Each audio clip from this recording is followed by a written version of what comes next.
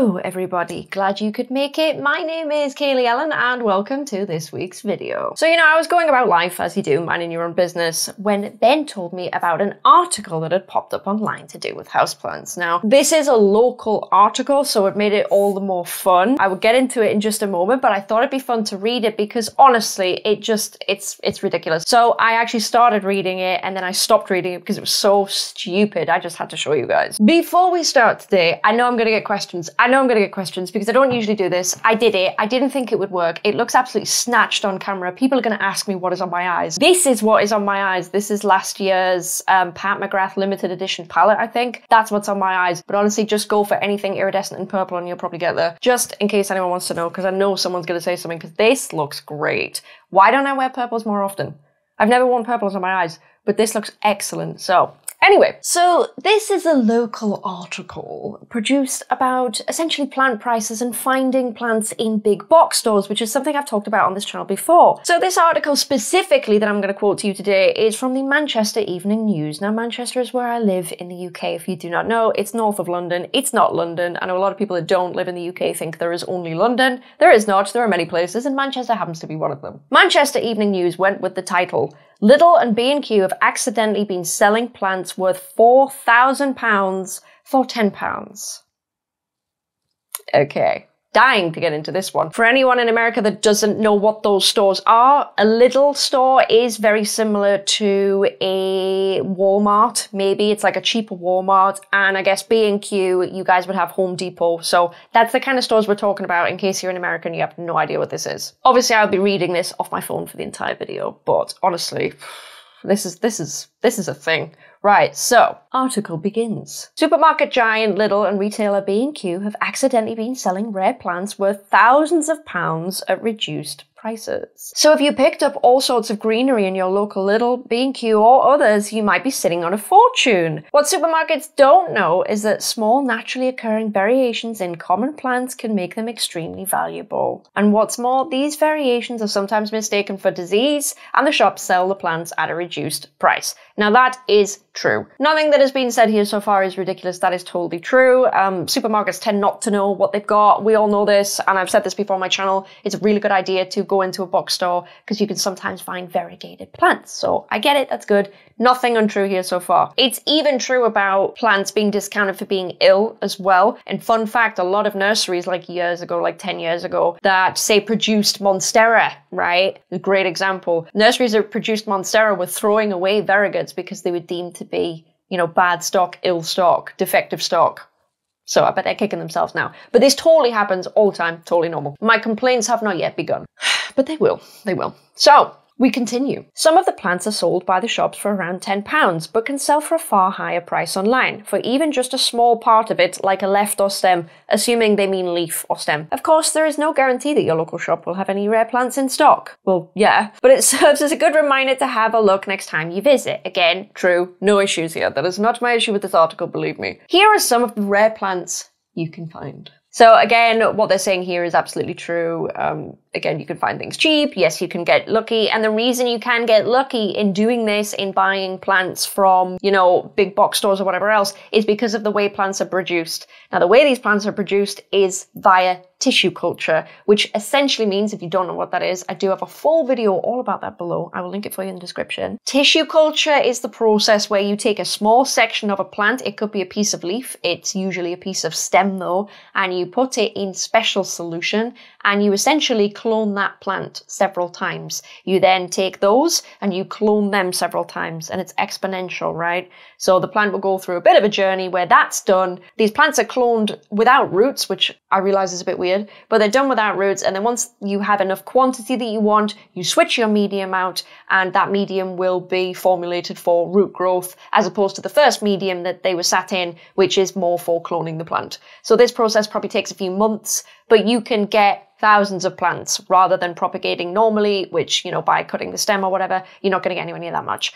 But when this happens, there are certain genetic mutations that are bound to take place because you're cloning things and things are just getting a bit a bit weird. Obviously, it depends on the amount of mother plants you're using. So if you make a thousand plants from one plant, you're far more likely for things to get a bit sticky further down the line than if you make a thousand plants out of 10 plants, for example. I digress. But then the article goes into examples of things you can find, and this is where my issues kind of start. So the first example we have here is variegated Monstera deliciosa. Um, I'd like to point out at this point that there's no pictures in this article. Obviously, I'm showing you paragraphs or bits of paragraphs or whatever it is I've decided to show you. This article has no images, but we'll get back to that later on. Variegated Monstera deliciosa, perhaps the most common plant to find in any shop. The Monstera deliciosa is more commonly known as Swiss cheese plant because of the holes in its leaves. Yes, true. To civilians, that's what it's known as. And by the way, I like to use this term for non-plant people or just people outside of like an area area that is quite in depth. Like, for example, when I was taught programming in university, our lecturer would call people that weren't programmers or weren't really computery people, he would call them civilians. So I'm probably going to use that term for non planty people because it's going to become very evident throughout this article that there is not a plant person in sight that wrote this. And while a regular green plant isn't worth much, a variegated monstera is very rare. Some of these plants developed white markings on their stems and leaves, occasionally putting out a whole white leaf. Well, yeah, I guess. Because the signs can be subtle in young plants, shops often mix them up with the plain variety and sell them for a tenner. Yes, it's not really the shop doing it, but okay. Even a single branch of the plant, this is where it's crazy, right? Even a single branch of the plant could end up costing thousands with Etsy's most expensive listed at £4,562.18. pence. Very specific, I suspect there has been a conversion. And as little as a 5 inch stick, very odd, sells on Facebook Marketplace for £1,399. Spot the rare beauty by looking for white lines on the stems or a constellation like pattern on the leaves. There is definitely some confusion here. Let me just say, honestly, I'm absolutely baffled. And it was at this point that I had to check the date that the article was written, which I will get onto in just a second. The article, as I mentioned before, contains no pictures of these plants. So already they're trying to say, well, this is how you find this plant. This is what it looks like. And the description is entirely inaccurate anyway. So I don't really know what this, this author was going for. I need pictures in a plant where you say to me, hey, one of these is not like the others. It's kind of what we need. But anyway, there's a lot to unpack here. I think we can all agree. Where where did they get that value from? Where did they get that value from? Because honestly, as far as I know, I don't think variegated Monstera were ever worth that. Like, ever, even at their rarest. Someone might be able to correct me on that. I don't know. I don't think they were ever selling for that ever at their worst, at their highest peak? I have no idea, but I don't think so. Variegated Monstera isn't very rare, as quoted. It's not even really rare. It's honestly, it's borderline uncommon. And I know you're probably thinking, well, obviously this article was written ages ago. No, it wasn't. It was written on the 24th of January, 2022. So I don't know what's going on here. Four and a half thousand for a branch of albo. The five inch stick. Does anyone even sell five inch sticks? Chunks? It's very specific, isn't it? It's very specific. But it's like, where did they even get these listings from? Because I've never seen them sold for that at any point. The only time I've ever seen these up for sale for that amount of money are people that are essentially trying to scam you into thinking this is like a super rare unicorn when it isn't. So essentially, what this article seems to have done is taken scammer prices and posted them as gospel. Journalism. And yes, spot the rare beauty by looking for white lines on the stems or a constellation pattern on the leaves. I think clearly two different plants here are being confused. One is clearly the Thai constellation because it looks nothing like the Monstera variegata albo as we know it. I know a lot of people would struggle to tell the difference, but guess what? They wouldn't if you included pictures. Anyway, moving on to the next plant, shall we? The variegated Monstera adansonii. Variegation is all the rage among plant lovers, and Swiss cheese plant's smaller cousin is even more valuable. Okay? These plants are hungry and need to be fed throughout the winter, unlike other houseplants. If they're not, they develop white spots that cause shops to sell them for cheap. But these spots are easily confused with the beginnings of variegation, which has the same telltale white stripes on the stem as the deliciosa. On eBay, the most expensive Adansonii for sale is listed at £3,699. And remember, this article was written in January of this year. What on earth? And if you don't want to part with your plant, a single leaf can sell for as much as 1,000 £533.39 on Etsy. Are you having a laugh? There is so much to unpack in this one, it's not even funny. First of all, First of all, we have a really bizarre mention about the fact that they offer like some weird care tip for this plant. It almost makes me think that the person that wrote this article only has an Adansonii. And that is it. Because it's really weird to me that they would even offer a care tip. Because it doesn't make any sense. Why? That's so random. They develop white spots that cause shops to sell them for cheap. Are you talking about viruses? I think you might be talking about viruses. It's not super clear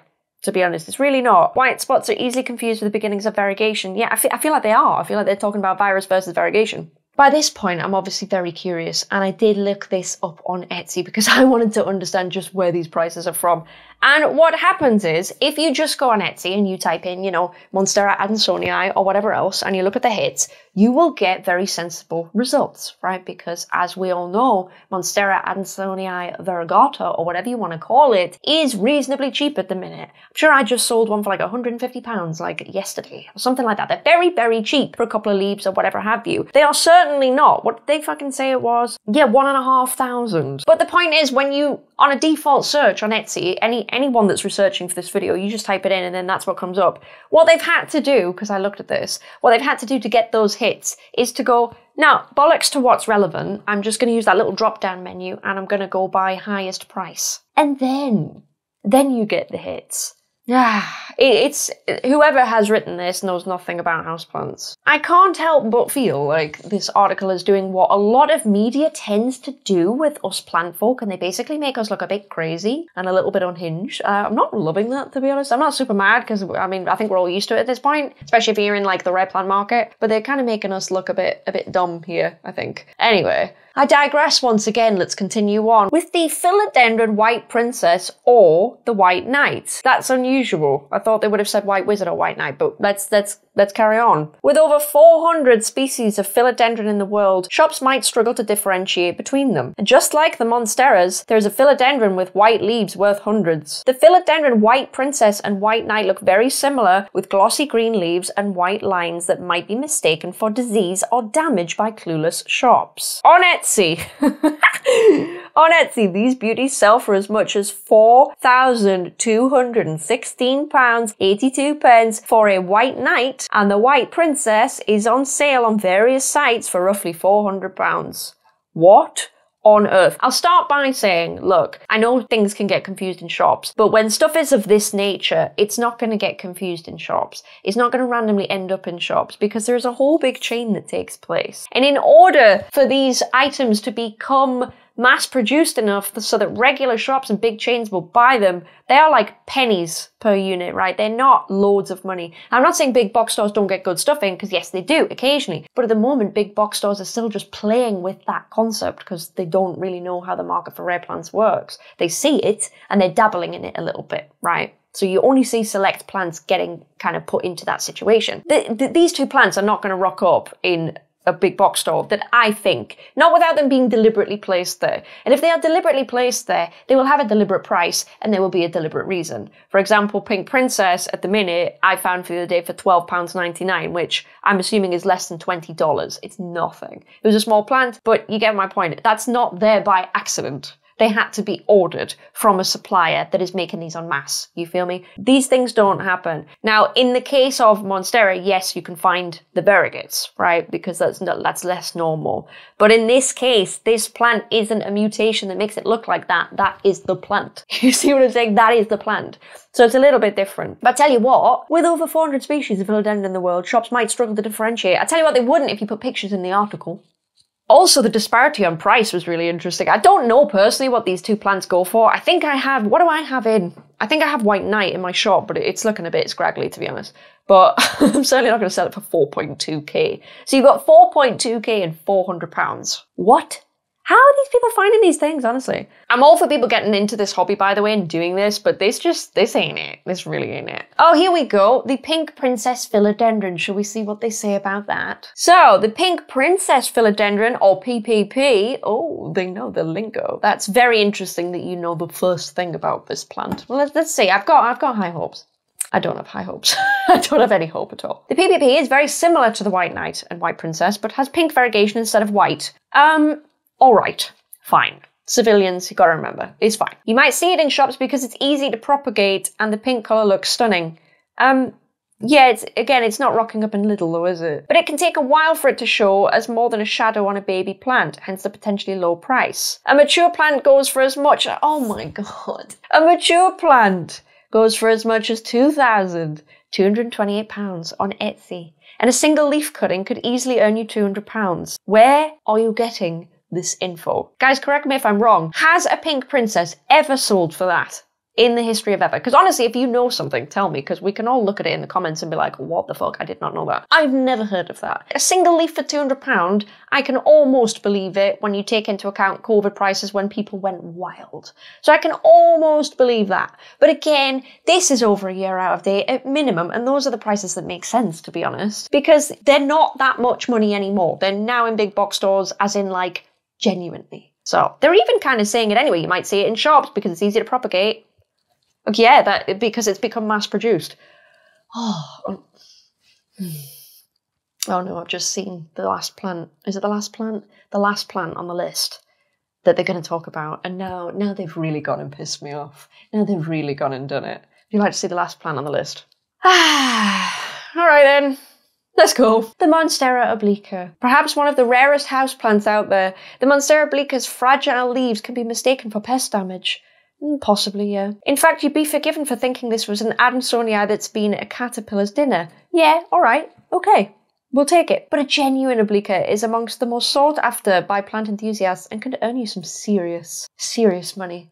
A single leaf, here we go. A single leaf is on sale on Etsy for £1,590 and on eBay for £1,250. Guys, get yourself onto eBay. You'll get some sweet deals. Sweet deals. Over on Facebook Marketplace, a small plant goes for £1,000. Again, this information is approximately one year out of date. I think that's quite accurate to say it's one year out of date. They don't go for that now. I can't remember exactly what I sold mine for recently. So, Right, listen, listen, listen. I know Obliqua is less rare than what it was, and I tell you now, I'm no stranger to getting crap on the internet for that original video that I posted on Obliqua. Why? Because people don't look at upload dates. People don't seem to understand that what was true of, what was it, three or four years ago is not necessarily true now because things change. But never mind, again, I digress. I digress.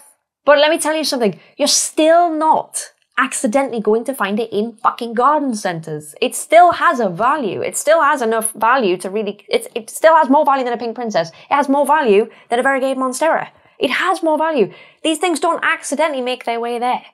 And I'll tell you why. Taken into account, even if someone randomly dropped an obliqua into all of those plants, I'm telling you now, wouldn't survive it it wouldn't survive it. Now you can grow obliqua quite tough. I know I have. I know a few people that I've sold obliqua to have grown it very tough and it can be done. But generally speaking, guys, these plants are not going to last the test that hardware stores put them through. Not to mention they literally won't end up there. But let's just say they did. Obliqua need a lot of humidity. They need a lot of stuff. They need a lot of feeding. They're animals, honestly. If anyone has one, you'll know that they're a bit, they're, they're kind of like a pet more than a plant, to be honest. They're a bit ravenous. They are not going to end up in a box store of any kind for I don't know how long. Honestly, I'm going to call it now. They're never going to end up in a box store. And it's got nothing to do with rarity. It's to do with the fact that we already have Adansonii. A lot of people can't tell the difference. We knew that when the obliqua video came out, and then more people were like, oh, is this an obliqua? And it was quite apparent that a lot of people, you know, once you see it, you see it, don't get me wrong. But until that point, you can't tell the difference. So why would we take out a plant that is very cheap to produce, it's mass produced, it's hardy, it's stood the test of time, protocol is there, great supply is going, and it still sells very well. Why would you swap it or add in a plant that's basically, it looks the same, except it's so much difficult. It's so much more difficult. No one is going to want those things growing in a household environment, sending out runners. It's not attractive to the, you know, the run-of-the-mill civilian houseplant market, right? It's just not. I'm calling it, guys. It's never going to be in big box stores because there is no point in putting it in big box stores. You feel me? It's not going to happen. It's just not going to happen. It's not even going to happen by accident. It's not going to happen. I don't know how to tell you this. It's not going to happen. And again, this isn't me fucking gatekeeping the rarity of stuff. It's just how the industry works. But quite honestly, like a basic internet search by the author of this article would have would have cleared up literally all of these things, right? And I, I, don't mean anything to do with me or anything like that, but literally anything, any internet article surely must have got this right at some point. We're going to have to check on some other internet articles, guys, because I can't believe this is the information that is out there. An internet search would have cleared that shit right up. Honestly, it would have.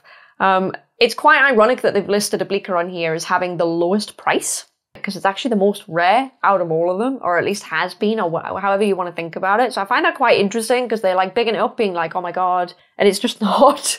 It's just not. Which is a great thing, of course, it's now accessible. I'm, again, not shitting on that at all. That's it. That's the end of the article, by the way. There, there is no no summary, no nothing to take, no, you know, the rare houseplant market is booming. It's really coming up online. Check it out. Nothing, just nothing. It literally, that is the last word in the article I checked. This could be the worst houseplant article I've ever read so far, in terms of being so out of touch. Not in terms of the opinions expressed, in terms of it being so out of touch. I've never read anything so stupid. What is the point of this article? It's like, hi, here's all these hidden gems you could have. What are they, you might ask? Well, I'm not going to show you what they are. You better look it up yourself, because guess what? I couldn't be bothered to. Listen, right? No matter no matter how far you're into plants or not into plants, if you happen to have stumbled across this video, there are rare plants out there that are worth this much, right? But the market fluctuates a lot. So you need to make sure if you want to ever buy these things, maybe this is why you've stumbled on this video, maybe you're a regular viewer, I don't know. But if you stumbled on this video, the plants listed in this article that I've covered today are not worth that much. They are significantly lower.